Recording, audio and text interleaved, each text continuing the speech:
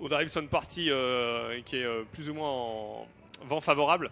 Donc ça veut dire que vous n'allez pas, vous pas forcément buter. Donc euh, c'est facile, de- c'est toujours plus facile de rouler vent favorable.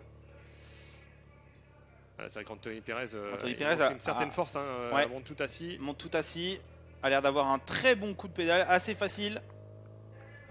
C'est vrai que euh, Laurent Pichon, Laurent- euh, Pichon on a qui- l'impression qui peut qu'il être- il Laurent- est tout le temps à la, à la- qui puise tout le temps, mais c'est encore une fois, hein, c'est vraiment sa façon de pédaler. Est-ce que Laurent Pichon, qui, euh, qui, qui serait euh, le moins rapide de ces quatre C'est hommes, pas aurait tendance rapide. à, C'est un à anticiper? C'est un coureur qui est rapide.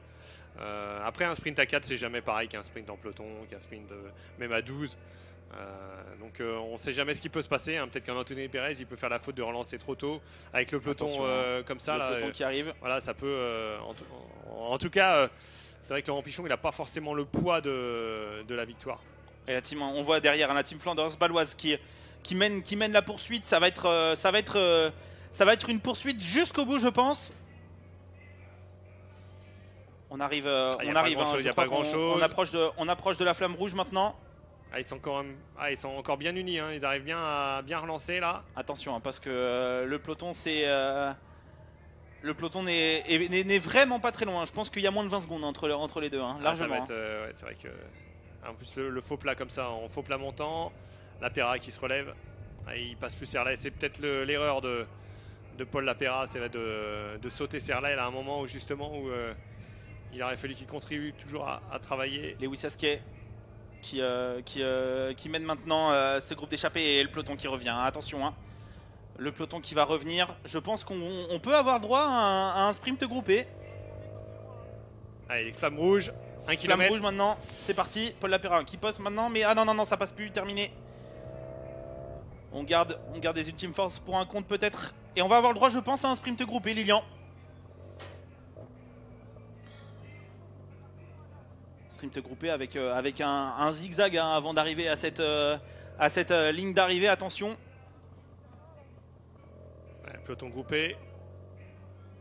Et voilà. Peloton groupé. Alors maintenant, alors maintenant, quid Quid parce que parce que parce que Total Energy finalement euh, peut encore avoir euh, Mathieu Burgodeau euh, Ah, après, c'est pas forcément les coureurs les plus rapides. ou, on a dit, ou Ewen Penwet.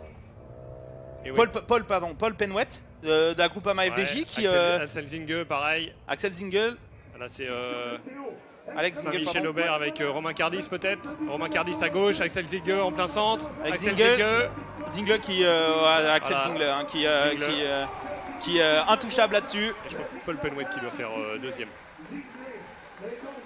Et ben voilà, et ben voilà, euh, finalement euh, c'était pas Pérez, c'était Zingle. Ah, c'est vrai que Cofidis, on l'a dit au départ, ils avaient vraiment euh, avec, euh, Pérez, avec Pérez et. euh, et euh, On a Lilian avec euh, Axel Zingle. Euh, Lilian, euh, je vous laisse, euh, je vous laisse euh, féliciter le vainqueur et, euh, et avoir son, son ressenti. Axel, belle victoire. Roulé toute la journée. On a vu Anthony Pérez euh, échapper dans le final. Et toi, tu viens vraiment euh, bien finir cette journée? Bah, Avant-hier, c'était l'anniversaire de notre chauffeur de bus, Seb, et j'ai oublié de lui souhaiter, donc euh, j'étais obligé de me rattraper. Et euh, bah, ce soir, on va pouvoir boire un coup euh, du coup, à sa santé et puis à la victoire. Donc c'est cool. Est-ce que dans le final, tu as cru que Anthony Pérez pouvait arriver avec le Quattro euh, devant ou est-ce que tu sentais que ça allait revenir quand même au sprint? Quand ils sont sortis, j'ai cru euh, qu'il allait aller au bout parce que c'était quand même quatre coureurs euh, solides et puis j'étais assez confiant parce que lui il va vite aussi, il a gagné l'an dernier dans un petit groupe donc je pense que c'était le scénario idéal pour nous. Et après c'est vrai que j'ai vu qu'il y a des équipes qui sont organisées derrière et ça roulait très très vite et c'est vrai que c'est assez large euh, avant le dernier kilomètre et c'était pas vraiment à l'avantage de- des mecs devant. Donc euh, après je me suis concentré sur le sprint. Quoi qu'il arrive, euh, même pour la cinquième place, c'était quand même important et j'ai vu qu'on allait rentrer dans le dernier kilomètre, donc là après, il fallait slalomer et puis sortir au bon moment. On a vu que dans le dernier kilomètre, tu as pu euh, justement profiter de l'équipier ou tu as dû te débrouiller tout seul? Non, bah nous on allait, déjà on était 6 au départ et on a l'équipe qui a roulé euh, toute la journée. Donc euh, on n'avait plus personne dans le final, c'était à nous, Anthony et moi, de nous débrouiller.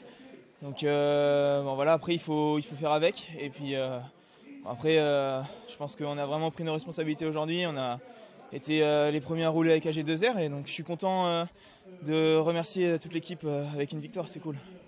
On sait que demain, le Grand Prix de Cholet, c'est aussi peut-être une euh, course sur les deux que tu visais le plus. Est-ce que euh, tu penses pas maintenant à, éventuellement à la Coupe de France? On verra, on verra, c'est pas un objectif, mais l'objectif c'est toujours de, de gagner des courses, donc euh, il en reste une demain. on va essayer de faire au mieux. Euh, bon voilà, j'ai vu qu'aujourd'hui ça allait bien. J'avais un bon sprint, donc euh, pourquoi pas faire une bonne place demain aussi. Ok, merci.